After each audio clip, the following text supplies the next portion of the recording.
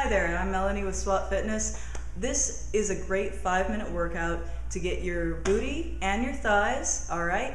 We're gonna start by targeting the inner thighs with a sumo squat or a plie squat if you prefer, if you're feeling more ladylike today. We're gonna take a big wide stance, all right? Big wide stance, we wanna make sure that the knees are pointing in the same direction as the toes. We don't want the knees bowing inward when our toes are out this way. We don't want to be doing the Charleston on this one, all right, ladies? We stay right here, come down, nice and deep, hold it, and up. Squeeze the glutes on the way up, very important. Come down, hold it, squeeze the glutes on the way up. Nice, slow, controlled motion, all right? Next exercise is going to be a lunge.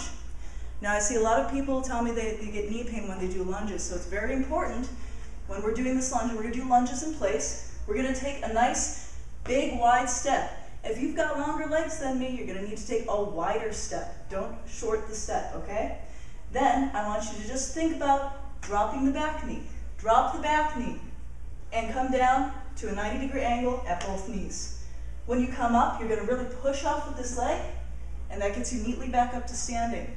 You want to have a nice slow controlled motion, both ways, big step, drop the back knee, up and switch. And this will avoid having you have that knee track over the toe. What we don't want with this one is a big, long tracking over the toe. That's too much stress on the knees, okay? One more time, step, drop the back knee, push off, and switch. If you want to make it a little more challenging, you put your hands behind your head. This displaces the weight, and you will feel the difference.